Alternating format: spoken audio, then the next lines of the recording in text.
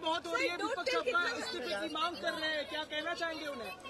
मैं यही कहूँगा कि अभी सबसे पहला फोकस रखें रेस्क्यू पे और रिलीफ पे। तुरंत रेस्टोरेशन रेस्टोरेशन रेस्टोरेशन का काम तुरंत चालू होगा।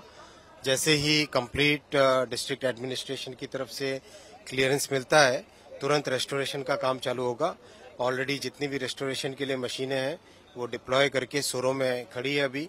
ऑलरेडी मैं रास्ते में देख के आया हूँ। क्या पहले डीरेलमेंट हुई उसके बाद टक्कर हुआ? क्या पहले इंक्वायरी इंक्वायरी के बाद में ही सब कुछ पता चलेगा। किसी का नेग्लिजेंस मिला है सर? किसी का नेग्लिजेंस अभी नहीं कहा जा सकता इंक्वायरी के बाद में ही पता चलेगा। डेट टोल के बारे में जरा जानकारी दे दीजिए। डेथ टोल डिस्ट्रिक्ट एडमिनिस्ट्रेशन और रेलवे एडमिनिस्ट्रेशन की तरफ़ से कंटिन्यूसली आपको अपडेट किया जा रहा है।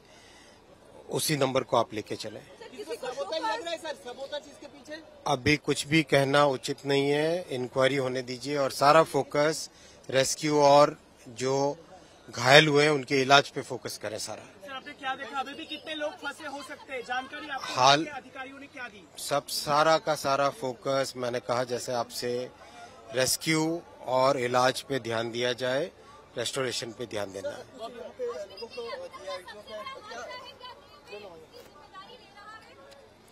मैंने कहा, पूरी जानकारी, पूरी इंक्वायरी की जाएगी कंप्लीट इंक्वायरी की जाएगी डिटेल्ड में high level inquiry committee already रात में घोषित कर दी गई थी। कमिश्नर रेल सेफ्टी वो भी इंडिपेंडेंट इंक्वायरी करेंगे तो कंप्लीट इंक्वायरी की जाएगी।